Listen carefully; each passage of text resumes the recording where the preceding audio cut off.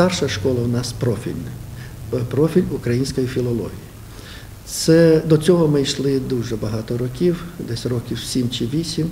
І це е, було е, і бажання батьків, і бажання е, дітей, і безумовно, і педагогічний колектив зрозумів, що це треба підготувати дітей для того, щоб вони успішно здавали зовнішнє незалежне оцінювання. До прикладу, я візьму тільки випускників цього року, їх було у нас 12, з них Вісім випускників продовжують навчання в вищих навчальних закладах. Тобто вони успішно склали е, зовнішнє незалежне оцінювання. Ну, У зв'язку з е, введенням цього закону в дії е, треба буде повністю переобладнати, скажімо так, школи з мовами національних меншин. Безумовно, появиться питання е, е, навчальних програм, їх треба буде вже переглянути, підручники однозначно, Е, ну і кадрове забезпечення, бо на сьогоднішній день е, я не готовий сказати 100%, що е, діючі педагогічні кадри зможуть взяти на себе відповідальність викладати державною мовою,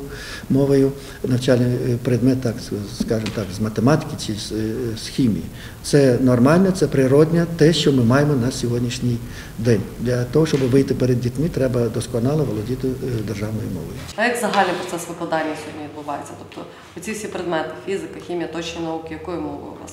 На сьогоднішній день е, ці е, дисципліни викладаються рідною румунською мовою. Учні 9 класу на сьогоднішній день мають 7 уроків української мови і літератури.